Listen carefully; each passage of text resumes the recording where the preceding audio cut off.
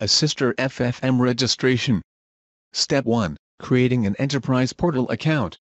Centers for Medicare and Medicaid Services, CMS. Center for Consumer Information and Insurance Oversight. Agenda. Objectives. Summary of steps. Demonstration of process. Additional MLMS resources. Help desk support. Objectives. Learn the required profile information for a new Enterprise Portal account. Learn the required format for an Enterprise Portal user ID. Learn the required criteria for a strong Enterprise Portal password. Summary of steps 1. Select the new user registration link. 2. Review and accept the terms and conditions. 3. Enter all required profile information. 4. Select the next button to continue. 5. Create a unique user ID and password. 6. Select three challenge questions and provide answers. 7. Select the OK button to complete the procedure. The CMS Enterprise Portal is the entry point for CMS Assister training. An account must be created to get started. The new user registration link is selected. Terms and conditions are presented for review prior to creating an account. The I agree to the terms and conditions checkbox is selected. The next button is only activated when the checkbox is selected. The next button is selected. Complete all of the fields to create your profile. Selecting certain fields will reveal additional information about that field and what characters are allowed.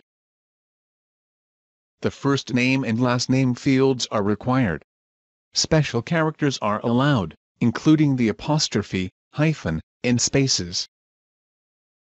The email address must match in each field.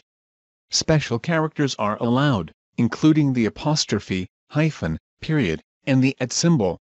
There must be at least one instance of a period and the at symbol. The assister is not required to complete the Social Security number field.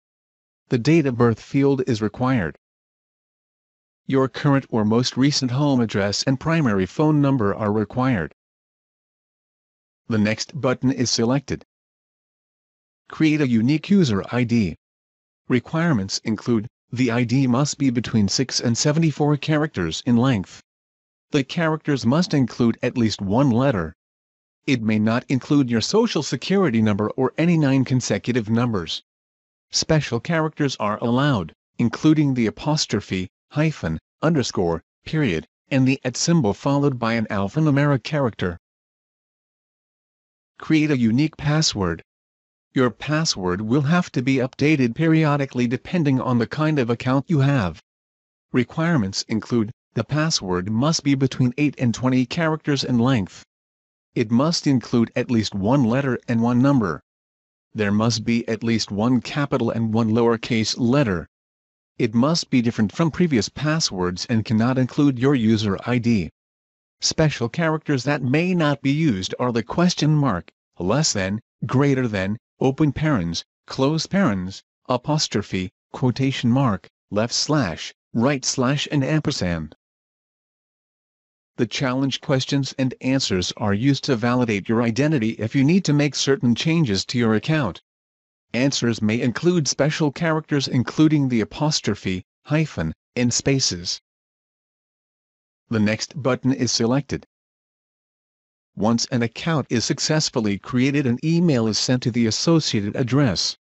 Please wait 5 minutes before logging into the Enterprise portal. The OK button is selected. Transaction completed. This is the end of the simulation. Additional MLMS resources. Assister registration and training topics include Step 1. Creating an Enterprise Portal account. Step 2. Requesting Marketplace Learning Management System access. Step 3. Accessing the Marketplace Learning Management System. Step 4. Enrolling in and completing the appropriate Assister courses.